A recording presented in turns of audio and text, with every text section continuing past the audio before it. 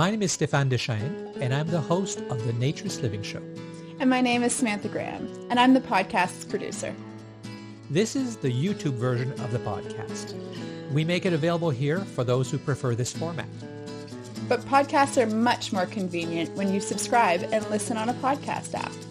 You can find us on Apple Podcast, Google Podcast, Spotify, iHeartRadio, TuneIn, Stitcher, Deezer, Overcast, and many, many other places. Please visit naturistlivingshow.com for more information. But for now, enjoy this YouTube version of our podcast.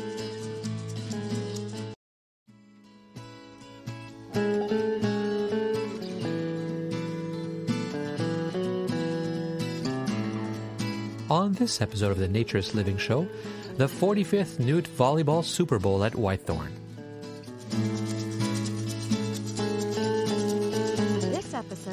Naturist Living Show is brought to you by Bare Oaks Family Naturist Park.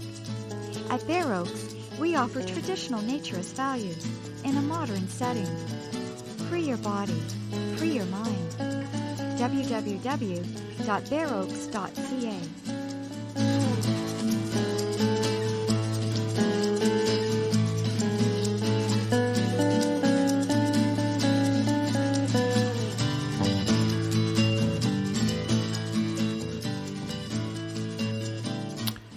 Well, yes, I'm back.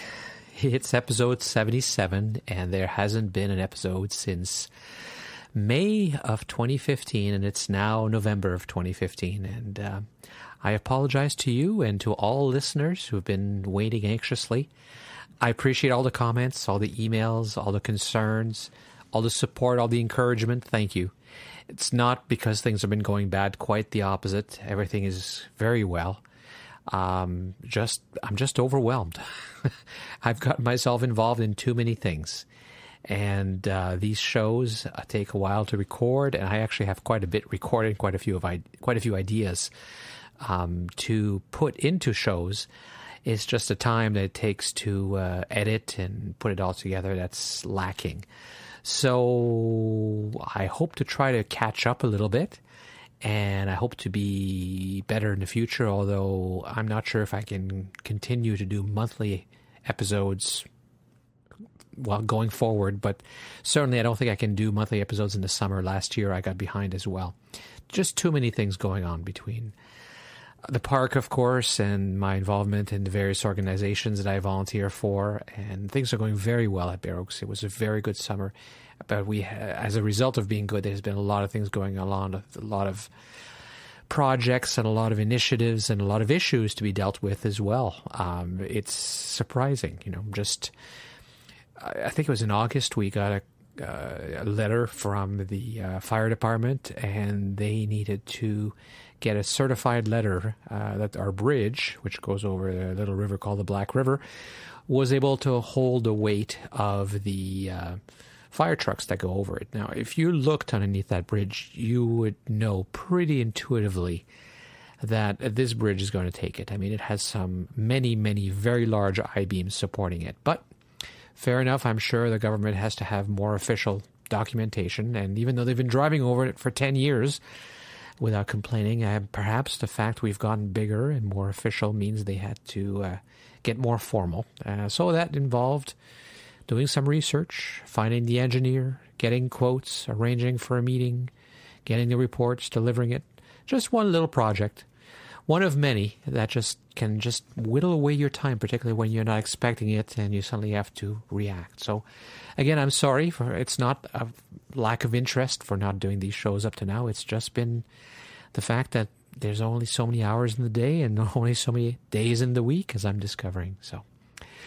I hope I'm not pod fading. Um, I've I've heard this term. I heard that the term very early on when I got into podcasting, and it means people are losing enthusiasm and energy and interest, and so their shows become less and less frequent. You know, they stop altogether, and that's not my plan. And I am interested, and I do uh, want to share with you these things that I see and hear, these people that I meet, and I have many other people that I want to interview.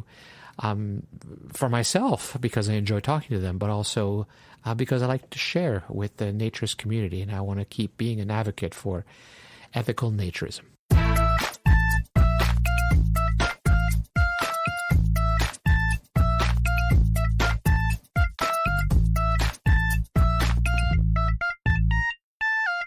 Ladies and gentlemen, welcome to Whitethorn Lodge Super Bowl 45!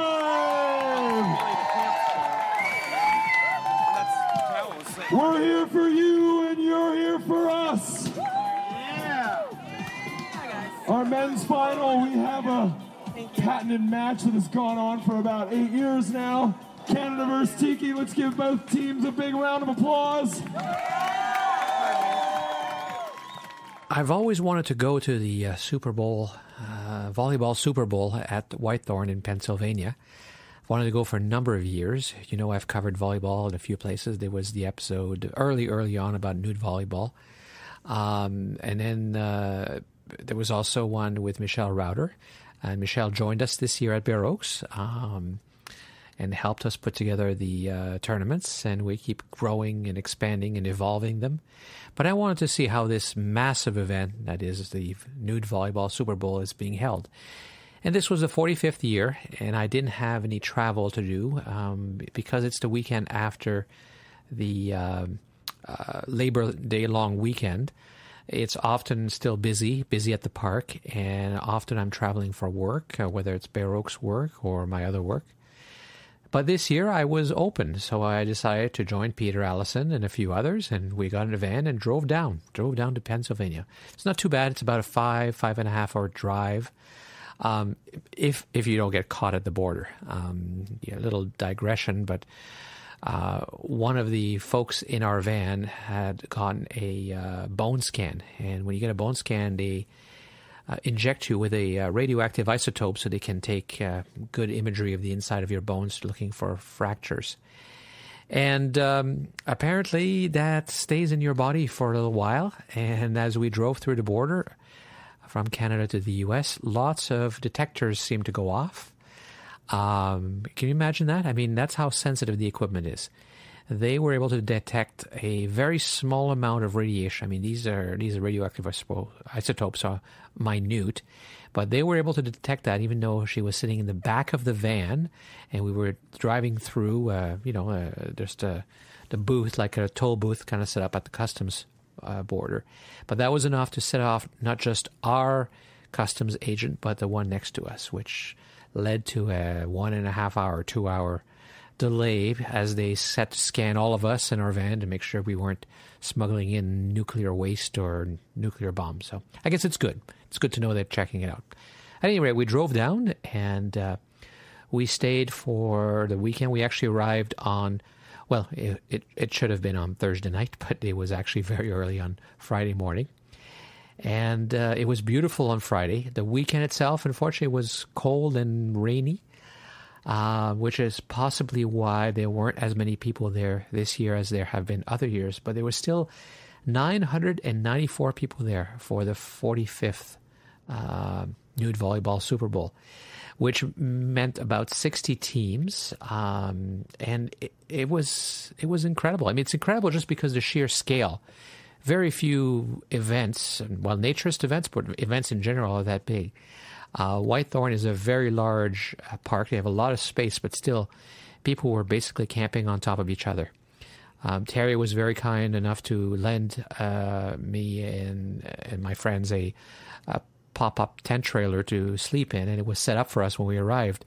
But we passed. Uh, we had to go walk right by another trailer and, and a couple of tents before we would get to where our tent trailer was because people are camped two or three uh, deep on all the sites. There's no sites anymore. People are everywhere. There's just, I mean, you, with 994 people, that's not counting the members, that's just visitors.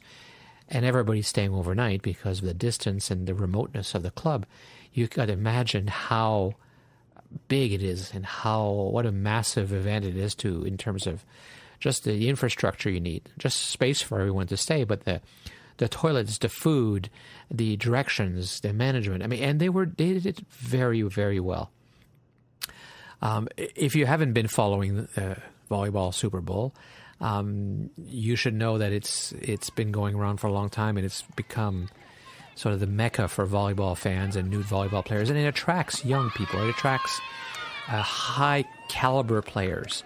Um, I mean, in a way, some of what uh, you experience at uh, volleyball Super Bowl at Whitethorn is is like the caricature of what naturism is uh, the, the, fantasy that it is supposed to be in some people's mind because there are lots of very uh, very healthy, very athletic young people uh, because they are athletes. They are there to play and they are serious about the game and they're in fantastic shape. So you see lots of that around, which is, of course, the fantasy that is espoused by non-naturists about you know how that's what it's supposed to look like because that's what it looked like in the exploitative magazines. And this is probably as close as you get to that. But there is everybody.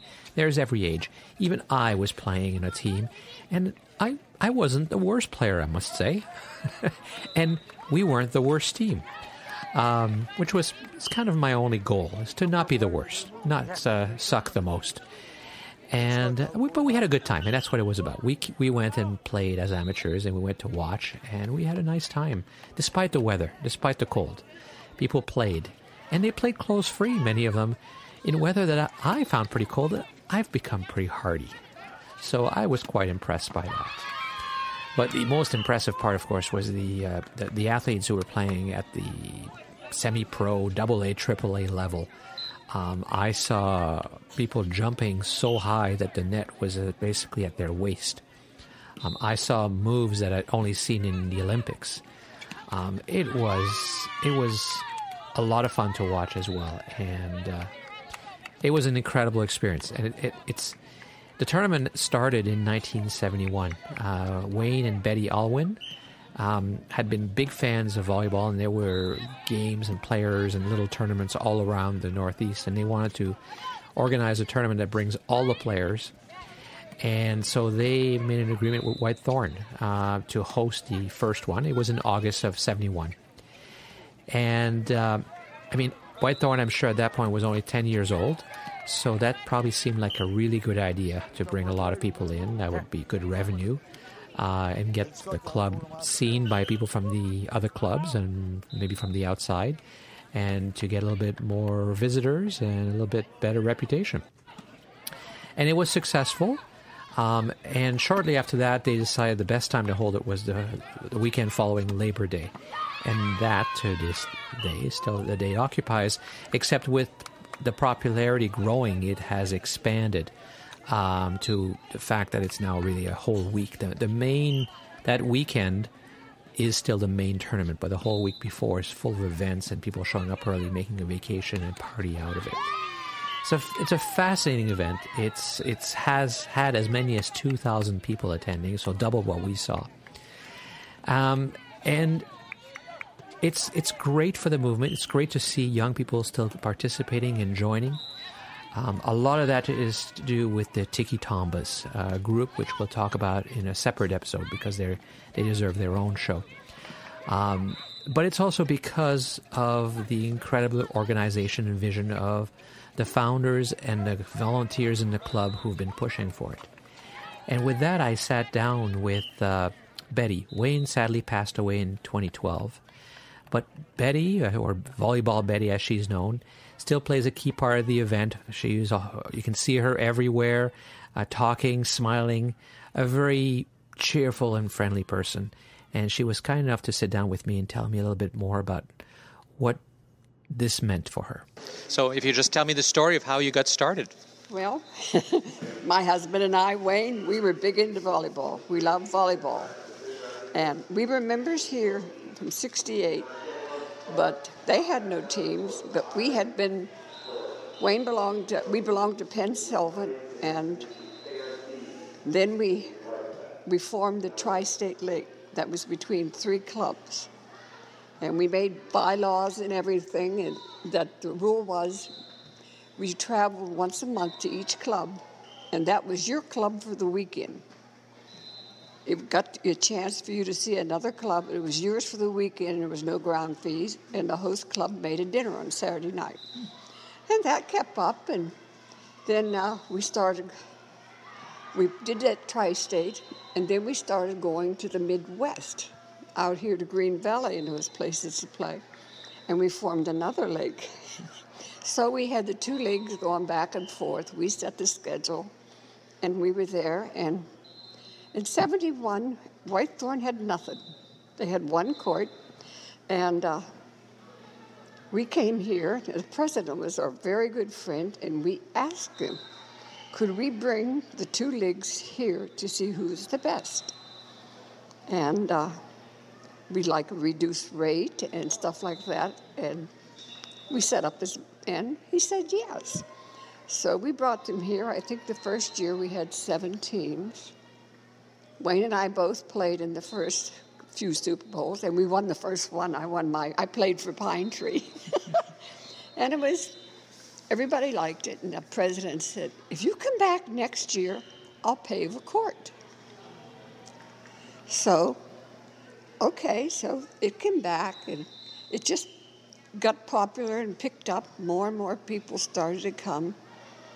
And it was, we only had two courts, but as the years went on, we, we built more courts, and I think the seventh Super Bowl, we set a record. It was bigger than the ESA convention.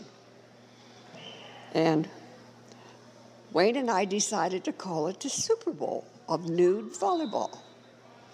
And everybody says you can't do that. You'll get in trouble with the Super Bowl, football Super Bowl. Wayne says, we'll take a chance. We're too little. So it has been the Super Bowl of nude volleyball. And it kept growing and we kept building more courts, and we attracted people. Well, I think in 77 we had uh, 68 teams, and that was getting up there. And in the 90s, we got up to 97 teams. And they don't register ahead, they come here. And we, when we built the sand courts, we started on Thursday, we'd put a sign up if you wanted to play on sand all weekend, and we'd get their roster ready Friday night. But all the other teams would come in here. And then one day we decided, Wayne said, we'd always say good morning. So we had this big famous saying. They had the sign on the court Good morning, volleyball lovers. It was like a wake up call at 7 o'clock in the morning. And they miss it today. And I don't know, it just kept growing, more people coming and and I know already you couldn't walk on a Friday night. It was so crowded around here. But with the rain, this is one of the worst weather. It got hot and but it just kept we've had people from Germany, Finland, and we also have a player, he still comes. When he was young, he tried out for the Olympic team. And we had ESPN here one time. They brought a team. And it was, they, they didn't win anything, but it was exciting, you know, to see them and everything. And I don't know. And then we had the opening ceremony, started that. That goes over big. You light the torch. And since my husband died, since Wayne died, they kind of get me to light the torch. And it's it's kind of nice. I like it. It makes me feel good. So w- when you started this, you weren't thinking of doing a national or even an international tournament. What do you think made it tar- change into such an international and such a big thing? Because I think the way it was run, we didn't. They didn't have to be an ASA member. There was no cards checked. You could you could bring teams from a college. We used to get college but all you had to do is play nude in a legalized nudist park. That was a requirement. It was a nude tournament. And the Youngstown radio station used to advertise this because I was coming home one time and I, I had the radio the station on and they says, uh, oh, by the way, this is the Super Bowl of nude volleyball at Whitethorn Lodge. And it was very nice. So. And then we had the plaques over there for a while. We had a guy give out, we give the team a plaque. And in the early days, we, my husband used to get the trophies or the plaques we had because the club didn't have that much money, so mm-hmm. he would get them made, and we had a painter paint them, and it just kept growing. Sorry, it, it got that's fine. It got uh, I don't know. It got to be every we we had the first two before Labor Day, the last week of August, because we were afraid after Labor Day, everybody, the kids are in school, and but we decided to take a chance, and it paid off. Everybody, and they set their schedule. We, we don't dare change the date because people set their schedule from one year to another. And now, the last five years or so, they have made it, uh, they still keep the rate reasonable. And there's no overnight fee. And it's first come, first served, but it's got to be now every little area has their own, they know where they're going. And they have their own little section, which makes it nice. And then they started doing the threes and fours. And now it's they have a 10 day pass. You can come in for $175 a person. And that's till Monday at noon. You can come the Friday before Labor Day. And it's pretty good. And there's we got excellent volleyball, and then we decided after about uh, 12, let's see, after about the 12th Super Bowl, we decided we'd like to get paid referees. So we had a friend that refereed in the Youngstown area, and we hired him, and he would bring so many referees. And that would keep the game going, and, and everybody plays on one team. And it's quite challenging to go around and take care of everything and watch everybody. But I'm good at that. You are. so, did you, in the 70s and in 1980s, um, it was normal, everybody expected to have to have an ASA card to get into a club. Did you have any troubles from the ASA or from Whitethorn because you were not requiring the card for the tournament? No, we worked that out, and uh, the ASA never got involved. We did not allow cameras because we got people from outside playing. They, this is the only time they came in and played nude, was when they came to the Super Bowl.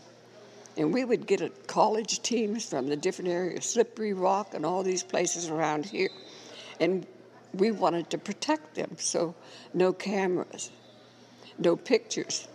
So, Anna did not recognize us hmm. because we had those stipulations, but we were for the people.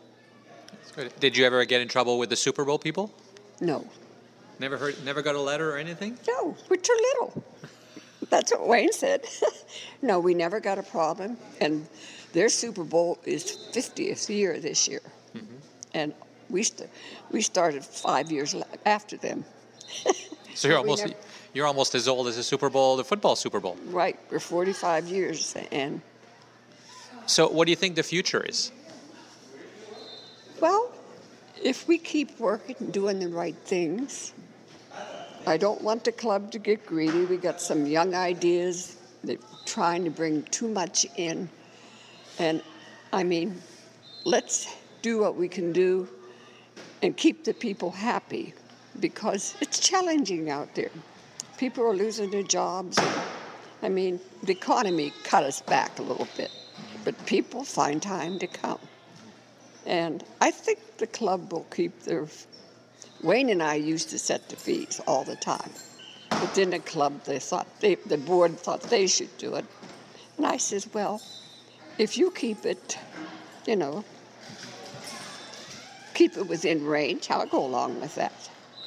And uh, we did little things like the one year the fee was $18 a person to get in. So I went to the bank and got a bunch of $2 bills. And that was their change. And that gave us an idea what they spent in the area. Right. Oh, yeah, yeah, yeah. And uh, of course, everybody drinks when they come in here. And uh, the state store, the liquor store over in this little town, Chippewa, I used to take flyers over there for them and they would put them up because the flowers were decent and stuff. And that's they came one time. They came out and they wanted to buy shirts. So, and that week of Super Bowl, they would wear the the Super Bowl shirts, and they said that was their biggest week in sales. and uh, local people seemed to treat us good and everything. We had people that let the batteries go dead, and we had these local people come in, and they were they didn't gouge them or anything. You know, they were reasonable in price. And the fire company comes in, we have them. Did, did you make any mistakes? Did anything you did wrong that you uh, or you didn't work because of it for whatever reason? Well, in the early years, if they were lost on Saturday, they were done. But then we got to thinking, it's a learning experience. And we thought, nobody can be eliminated on Saturday. So we didn't, you know.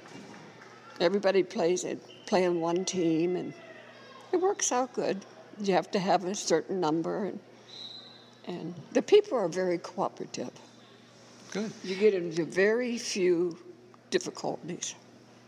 And what advice would you give to other people who want to organize volleyball tournaments around the world? Well, it pays to advertise. My husband and I used to go out. The club would give us a few bucks for gas. And we would travel all around to the different, they weren't necessarily nudist clubs because we sent, we sent letters, we sent flyers out. We put it in the boards, we advertised. And it was very good. Now we get the regular ones that know about it.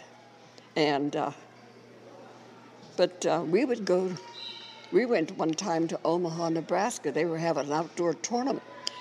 They had all these temporary courts set up, and we went in and passed out flyers. And I mean, it, we were well received because, and,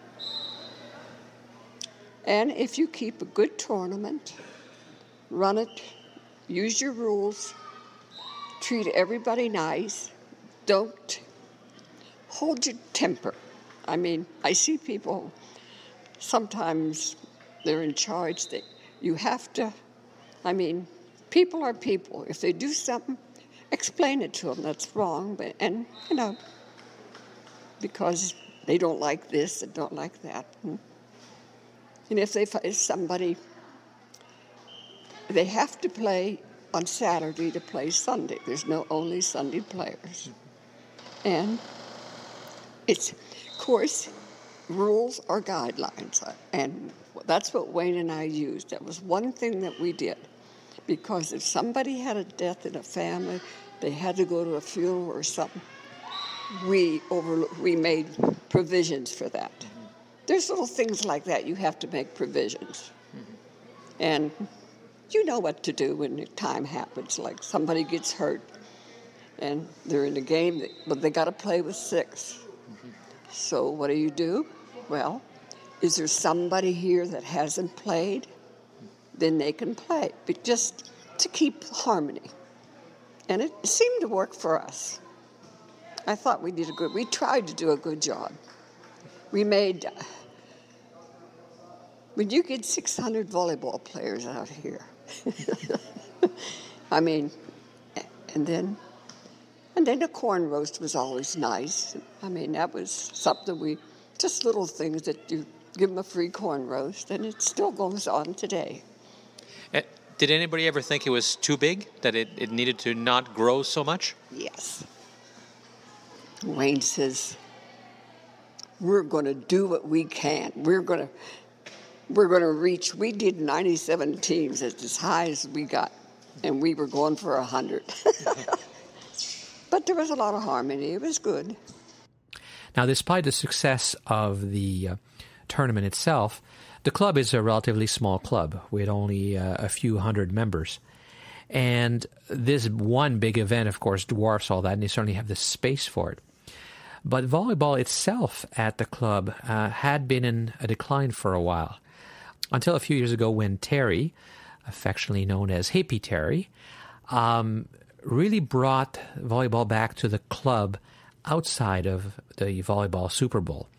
and really uh, pushed for the development of better courts and more courts. Um, I mean, there was I think there was a dozen courts set up, uh, sand courts, grass courts, and several hard courts as well. And so I sat down with Terry, who is also a really wonderful uh, person to chat with. I love that mustache. Thank That's you. the first thing I want to say when you talk about So, Terry, I am told that uh, volleyball at White Thorn was kind of on a decline, and you brought it back. How did you do that? We did that by just uh, inviting all the guests to come play at whatever level they did and be friendly and invite people and just have fun. And that's we started doing it on uh, Saturdays because usually the Sundays is that's when we have our really good volleyball players. Yeah. But and, and then you get all these visitors and they start feeling welcome playing volleyball with us because we're not you know we didn't, didn't used to be that good but we are now. And uh, it just grew from there. It started out as everybody having fun and then it's our, our play started getting really better and then we started going to tournaments all around the country and uh, and advertise our camp and our team So, I mean, the the, the big tournament, like the, the White Thorn Super Bowl, that never really stopped. But in the club itself, there was a decline. Why do you think? Why do you think that was? Because this was always the heart of nudist volleyball. some because there was too many good volleyball players, and people felt a little apprehensive to play against them. So once we started, they'd be playing over here, and then we'd say, "Okay, we'll bring you. We'll play down here." And then we're, there was a couple weekends where, okay, all the players would leave up there and go play with us because we're having more fun. That's, you know, So, how did you make it more fun? How did you make people feel okay about playing? just uh, we we still play by the rules and, and everything and learning, but just Does anybody have an ink pen? No, sorry, we don't. but just uh, inviting everyone to play and making them feel comfortable and just having a good time. No, no, no drama. No drama. However you say it. Yeah, yeah. Uh, and it just started with my buddy Farmer Rick and I, because people, you know, the good players, they'd look at us like, "You're not playing with us," so we'd we'd pick up our own teams and just start playing. So we had teams of our own, and like I said, they'd be up here on the hard court with just three people, nobody to play against, because they're all coming down playing with us because we're more fun. I think that's a problem in the entire naturist nudist world. Is that you know it used to be volleyball was big everywhere, but now it's it's declining. I believe we're bringing it back here. We have, even on our off weekends, we have all the courts filled, sand courts, and hard courts, two hard courts, and then we built the extra sand court just to, uh, you know, after after this, it just got done Labor Day, but after this year, there'll be, we're going to lower the net, make it a ladies' net, and we need more ladies to get involved in, in playing because. Um, they, they, they love it out. They love playing the volleyball, and um, and we'd like to get our children involved also. That's why we you know we'd like to lower the net, make it a little bit more lady and, and child friendly. Do you get kids involved even when they were little, like seven or eight years old? Yes, my grandson, both of my grandsons are come out every weekend. They don't play yet, but they're very interested. But there's children that grew up here, and uh, little T and and uh, Kenny. They start. We started them playing, just having fun because nobody would let them play, and now they're they're like B players. So, how do you organize it? Do you guys just have? Do you have a time where you all get together? Do you organize actual games? Do you have challenges? What What is it you? How do you put it all together? We do uh, Friday night. We have it under the lights. That's for everybody to play and just have a good time. And it goes on till one o'clock in the morning. And Saturdays we do sand. That's for everybody also, just to come have a good time. And uh, just people know it's like we start setting up around 11 o'clock, and everybody just gathers around, and the music goes on, and the volleyball starts, and that's just goes from there till usually till dark. and then turn the lights on, and it goes after dark. Yeah, you've got some very impressive lights on those courts. Yes, we do. Thanks to my buddy Mark. Yes, What was the motivation for that? because we can't play enough volleyball. And and so, uh, why are you hippie Terry? Well, because I got long, beautiful hair, You do. and it's just my hippie attitude. This is a nickname. That's And, and I, I can't believe you got grandchildren. oh yes, I have grandchildren, and they're all. I have three generations of nudists here: my son, my daughter, and both of my grandsons and their spouses all come. And uh, my daughter and her boyfriend, soon to be, whatever, you know, they're all members. And why do you think volleyball is so great to play nude? There's a lot of sports. Because I played it with my clothes on and it sucks. But why volleyball? There's lots of sports. Well, we also play cornhole and horseshoes and bocce and tennis. It's just not volleyball. We have a lot of things we do here nude, and uh, we have, like I said, our beautiful swimming pool and our hot tub and sauna, and just just being out in nature. Period is that's our that's our goal, and we have beautiful trails too. White Thorn, um, as I was saying, was uh, formed in 1961, and it's a cooperative club. Um, it's set in the hills of western Pennsylvania near the Ohio border. In fact, uh, they were telling me they just purchased some land that's adjacent to the club, which they may develop, which is actually in Ohio. It's in a mountain range that's known as the Appalachian Mountains, and that, that gives it this beautiful uh, rolling uh, terrain. I mean, wonderful walking around, lots of hiking trails going down the sides of the, the these these hills and valleys. Uh, rich forest, and uh, you can, from from the club. There's places where you can see for miles because of the valleys below and how high they are located. Um, it's uh, there's lots everywhere. They have over uh, 80 hectares, which uh, about 200 acres. Uh, lots of space, and the club itself is and has always been a cooperative club. Um, it was uh, it's and a cooperative club is an interesting club, and I think I've talked about it before because in a cooperative club, everyone is expected to participate and give of their time and efforts, which is what keeps their uh, membership down. Membership is incredibly inexpensive at White Thorn. Um, but you have to spend time and you have to donate and work for that as well. And there's no option to pay extra as there is in some clubs. You really have to work and you have to be accepted. And the cooperative nature means also that everyone has to agree. And that's why, you know, in some clubs that I've seen, the development is really minimal. Big events like the Volleyball Super Bowl are shunned because the members want to keep the club for themselves. They want to keep it quiet. Um, they're not really that interested in visitors because visitors mean work and trouble. And they don't always spend a lot of time and money on infrastructure because it means they they would have to pay more in dues. Um, but that wasn't true at White Thorn. I saw a beautiful pool. I mean, which is obviously not very old, with a huge deck and a hot tub, two hot tubs actually, a wonderful clubhouse, uh, facilities that are very well maintained and well built. Uh, not shacks, but uh, brick walls and solid uh, double pane thermal windows. And they also have lots of camping spaces for visitors, rental cabins that are also very well built. So, a really well put together club. They obviously managed to make it work. Now, I did hear from members that there's always conflict, there's disagreements, which is normal. It's democracy. Democracy is messy. Dictatorships are easier as long as you like the dictator. Uh, but it seems to work for them. And they continue to do the volleyball Super Bowl. And yeah, I've got to tell you, the number of volunteers, the smiles I got from the members who were volunteering, the helpfulness of everyone was incredible. They it's they they mobilize a small army just from the making of food to feed. Imagine feeding thousands of people potentially, uh, uh, nearly a thousand this time.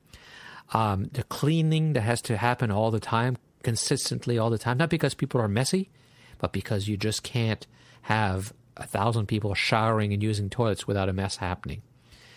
And those White Thorn members, I mean, they're they're driving people around. They're always there.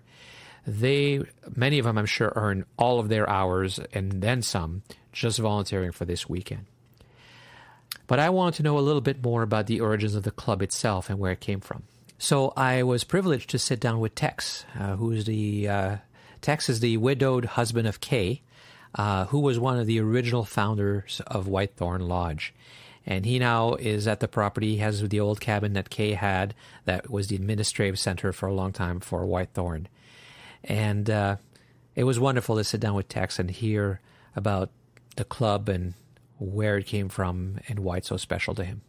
I'm LB Tex Rauter. Uh, my home club is Sunsport Gardens in uh, Florida, but I spend the summers at White Thorn Lodge and I've been doing that since 1983. Um, I was fortunate enough to meet a young lady. Uh, she was 81 at the time, named Kay Macesius. She was one of the original founders of White Thorn Lodge. She um, always said, just call me Kay. And she was a naturist, a true naturist. She always went barefooted, even out on the hot pavement, she could still walk barefooted. And she was responsible for many of the nature trails that are here in West Palm or in uh, White Thorn. Uh, I first met her as a guest back in 83, and you rang the cowbell out by the front gate, and there was a like a barn gate that you opened, and she used this back room as the office for White Thorn Lodge and also for the Eastern Sunbathing Association, and she became a the secretary of the ESA at a time when um, before my time. But um, she has seen this place grow from the beginnings when it was what we really called a strip mine uh, at a nudist club. But the flats that you see down here was a um, coal mine, strip mine. And then down what we call the flats was another one. And there was an old farmhouse that sat over here, and we had a wooden hot tub that uh, looked like a oversized barrel with the top cut off. But um, there was a pulse, there was a heartbeat from those five original founders and participants that still beats today, uh, 50 some years later. And um, I think we can give them a lot of credit for what you see today with all the improvements that we have. So White Thorn's always been a uh, cooperative, member-owned club. Is that yes, right? It was. It started out as a cooperative, and we've kept it as a cooperative. Uh, our payroll is zero, and that's a fine thing. Of course, we hire people to build swimming pools and pave roads and things like that. But as far as the beautiful flowers and the maintenance, the lawns and the courts are all taken care of by the members here. We have about 300 and some members, and um, they all seem to do a little, some do a lot more than others, of course. And what happens if some say are too busy and don't want to do anything? Well, there's not much you can do about it. Um, people have been asked to leave in the past because they felt like they did not want to participate in the upkeep. But um, usually people do a little bit. As you can see, my thumb, mm. I slice onions for about five minutes and cut. and um, of course, I'm to the age now where a lot of people say, "Oh, you're too old. You can't do that." But um, can, we, can I ask how old you are? I'm 95. Wow, that's impressive. Thank you. And um, I um, um, served my apprenticeship, and I washed dishes and uh, took care of the hot tub and things like that. But now I'm to the age where they think I'm too old to do much. I just kind of watch. And what year did you first come here? In '83, I first came, and then I did not. I visited, and I fell in love with the place, and guess it was probably six or seven years before I was able to come back again. But then I came to play volleyball. That was my my hook. I, I wanted to come up and play volleyball, and my daughter here uh, started coming with me, and we've come. You'll see all the trophies on the wall. We uh, we played a lot of volleyball, but I haven't played now for about uh, 12 years. And the uh, 45 years now of the White Thorn Super Bowl vo- volleyball, is has that always been popular with the members? Yes, it has. It started out as the Tri County um, or Tri State, and they had about six teams, and they didn't think that it would ever grow to be the world's largest nude volleyball um, tournament in, in the world. And it has been. At one time, we had as high as 95, 96 teams here. What do you think the future of White Thorn is? I think it's bright. Um, when you have a cooperative, everyone thinks that, and in actuality, are part owners, and they all want to have their say, and sometimes divergent. And uh, but all in all, I think it's it's it's bright. I I would guess that if I were to live to be 145, another 50 years, I might find the same Super Bowl on the, the week after Labor Day. I think it's got a long life. So, as you heard, Tex also is a uh, resident or visitor to uh, Sunsport uh, and Morley Schloss, who he knows very well. You've heard uh, my interviews with Morley Schloss in the past. Um, I have visited Sunsport, which uh, last winter as well, and I'll tell you more about that in an upcoming episode. But I find it interesting that there's these connections, the clubs I like and the people I meet that I seem to get along with, and where the philosophies are similar. Um, there's connections, and uh, there certainly was here.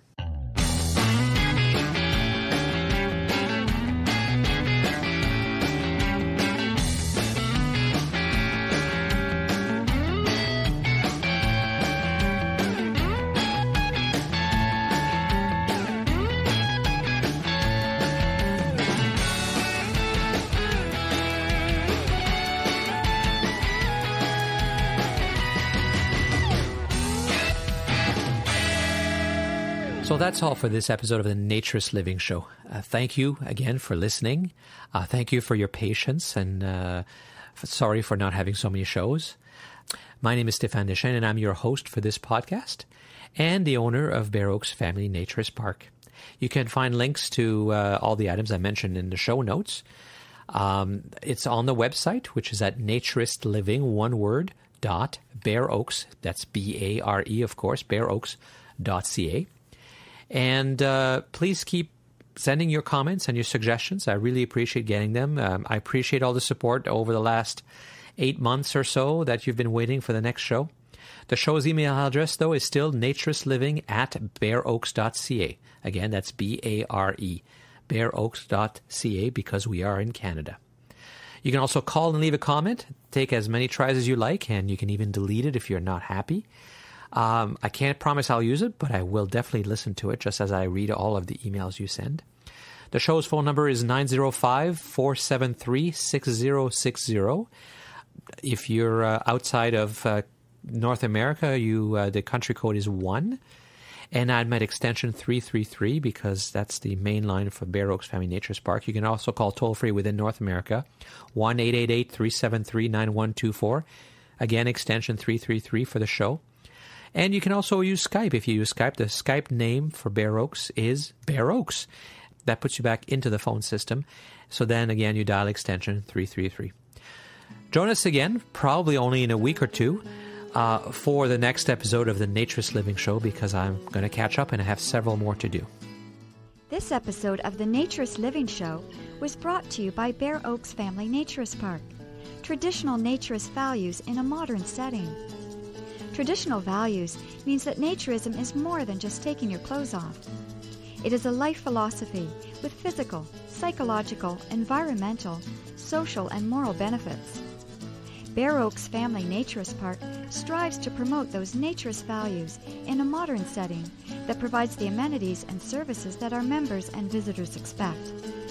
Free your body, free your mind. Learn more at www.bareoaks.ca. We